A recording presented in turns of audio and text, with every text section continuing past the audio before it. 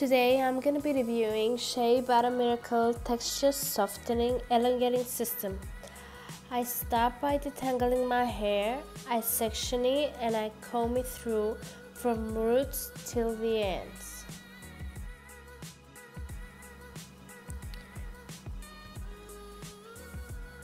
I comb my hair through till I'm sure there's no more knots anywhere and then I tie my hair up. I move on with opening the Shea Butter Miracle Texture Softening System. And what does it include? It includes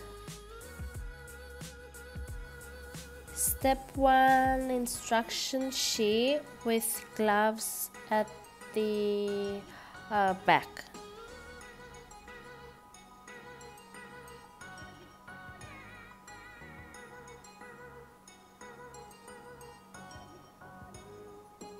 The next thing is uh, step 2 curl control pre-treatment. Step 3 texture softening cream. Step 4 normalizing shampoo. Step 5 is uh, leave-in conditioner and step 6 is bouncy curls pudding.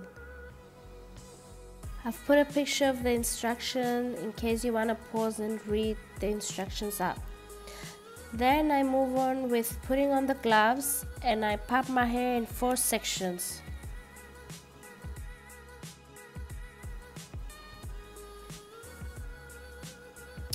I move on with applying curl control pre-treatment all over my hair starting from the roots and working out through till the ends.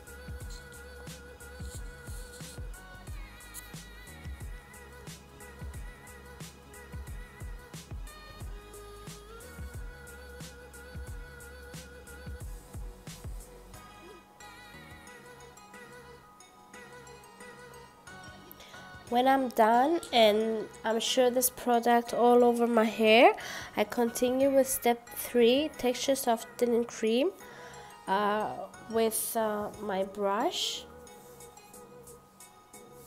And I start from the bottom of one part of the hair and I slowly go up working from the roots to the ends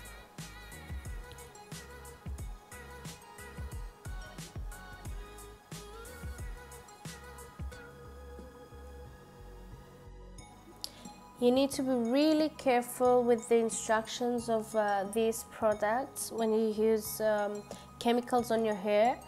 Uh, it says for fine texture hair, the maximum time is 5 to 8 minutes, for medium to normal 8 to 12 minutes, and for coarse hair like mine, it's 12 to 15 minutes maximum. This is not a hair relaxer, so I don't comb the product through my hair. I just work with my fingertips.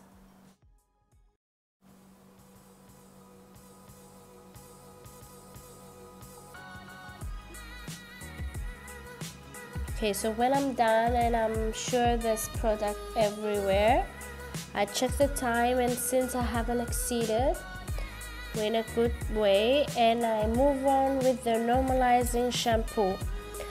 I, wash my hair out.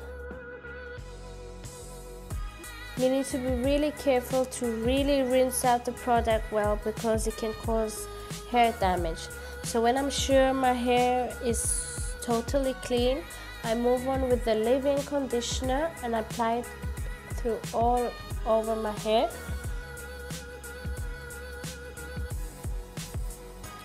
and then I add on the bouncy curls pudding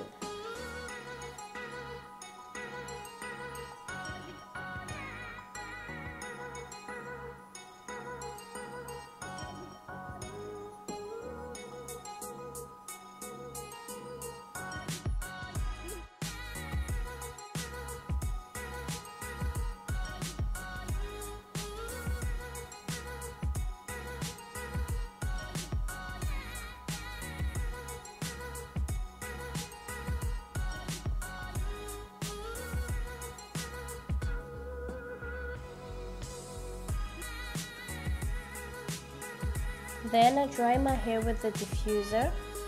And the final step is um, blow drying the roots with some cold hair to stretch out the curls. That's it. I'm done. My hair really feels soft and hydrated. And I'm gonna be popping up my curls it was really easy and all of this was done in like less than an hour. Thanks for watching